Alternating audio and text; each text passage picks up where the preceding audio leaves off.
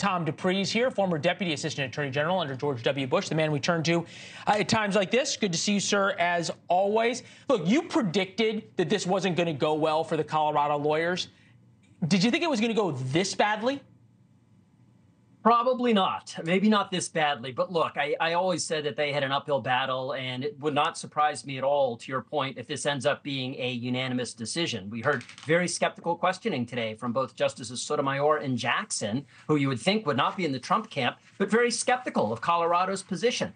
And I think, in a larger sense, there would be a great interest, an institutional interest, really, in, in producing a unanimous decision, if that's at all possible. I don't think it's out of the question. And you can bet that Chief Justice Roberts this evening is scratching his head trying to figure out if there's a way to craft a majority opinion that would command unanimity. Because you're absolutely right. If the Supreme Court could speak with a unanimous voice in this case, which of all cases you would expect to be politically polarizing, but if they can achieve unanimity and speak with a single voice, I think a lot of Americans would look at the court and say, well, hey, maybe this actually was decided on the basis of the law and our Constitution, not on politics.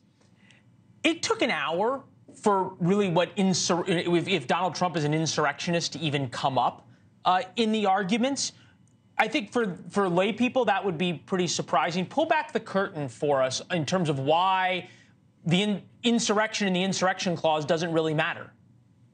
Sure. The, the reason why it doesn't really matter whether he actually engaged in an insurrection or not is because before you even get to that question, you have to figure out how this whole 14th Amendment process for disqualifying people for insurrections works.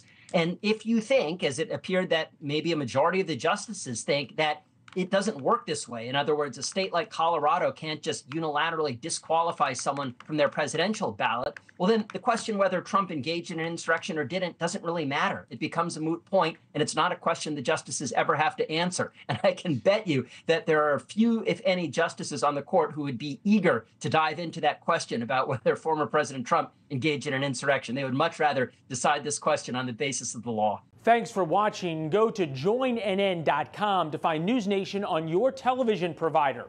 And don't forget to click the red subscribe button below to get more of News Nation's fact driven, unbiased coverage.